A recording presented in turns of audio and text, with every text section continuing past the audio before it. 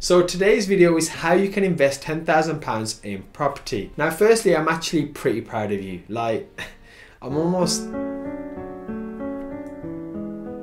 almost getting emotional. And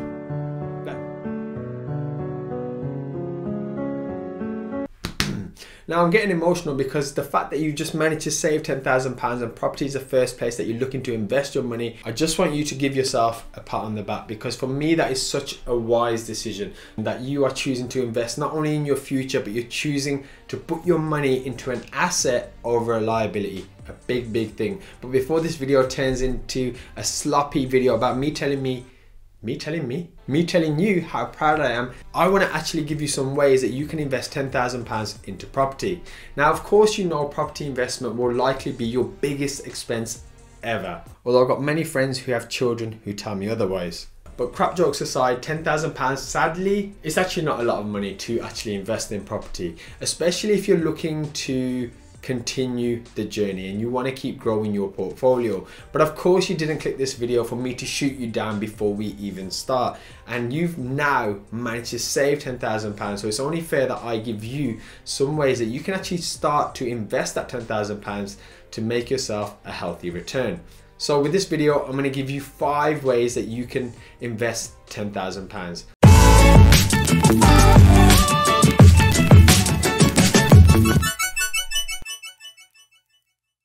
Now the first is that you can buy cheaper property and I'm talking around the £40,000 mark. Now these types of properties actually exist. I brought myself one at auction many years ago for 40 4,000-ish in Stoke and actually sold it a few years later for 64,000 and you can potentially buy yourself a 40,000 pound property with 25% deposit lesser fees and have yourself your first buy to let. Now depending on the rental income and the mortgage that you actually take out with it the cash flow isn't going to be huge. And to make that 10,000 pounds back on your first buy to let it could take you for maybe five maybe even six years. So that's something to bear in mind. Are you happy buying a property every five to six years?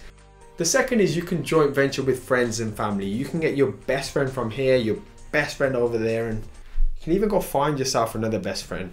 And when you and your best friends and your family put together £10,000, you instantly increase your purchasing power. Now, the general rule of thumb that I often tell people is that you can leverage four times as much money as you currently have. Now, this may depend on experience and the lenders who are available, but bridging companies, for example, that I've used in the past have allowed me to actually have slightly less. I think it was around 22, 23%. Because if you can get yourself £50,000, you can go and look for projects up to 200 thousand pounds. The third is you can get involved in rent to rent. Now although I do service accommodation, it's never really been a strategy that I actually set out to do. It can 100% work but it's a full-time job. So unless your goal is to replace your current full-time job and then almost become a rent-to-rent type investor, I definitely think twice.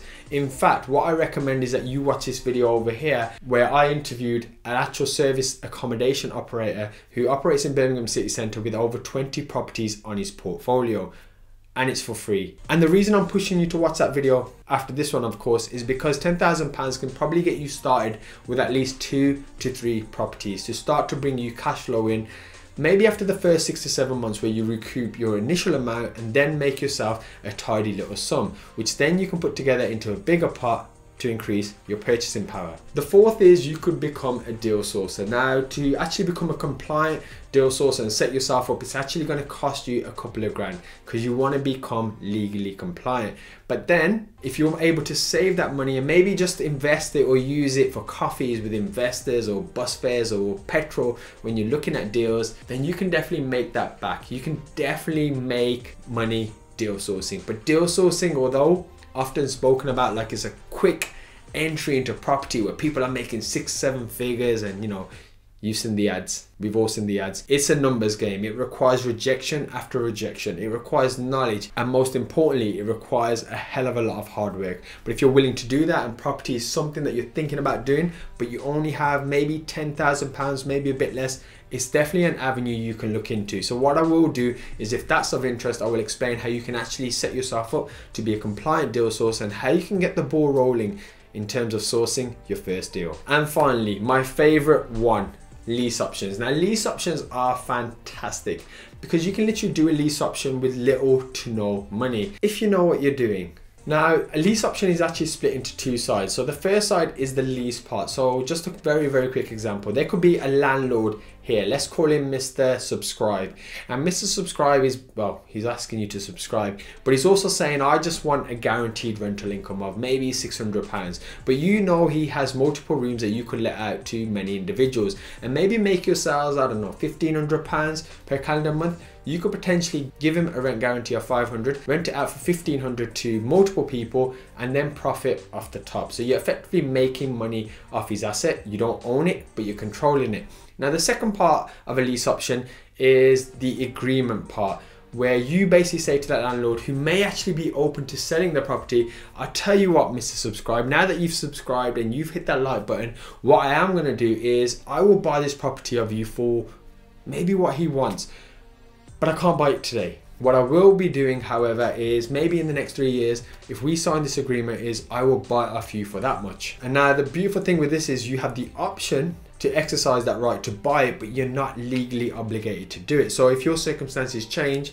it's absolutely fine. Whereas if you know house prices have risen by X amount, for example, and you have that money available, you can then buy that house for maybe a discount. So what I will be doing in relation to lease options, if it's obviously of interest to you guys, is do a few videos on that for absolutely free. There's no training, there's none of this me trying to extract any money from you. I'm just going to try and help you as much as possible to get yourself started. So there we have it. That's five very, very quick ways that you can spend £10,000 in property. Now I can think of literally a million, well, can't think of a million, but I can think of a few more if you find this type of video useful. And as you know, I am an anti-guru, so I would definitely say if you've saved your first £10,000, firstly, well done, because I know how hard it was to save my first £10,000 many, many years ago. But secondly, I just want to urge you not to spend it on courses or people giving you quick, rich get schemes and telling you exactly what you want to hear. The information that you require to get yourself started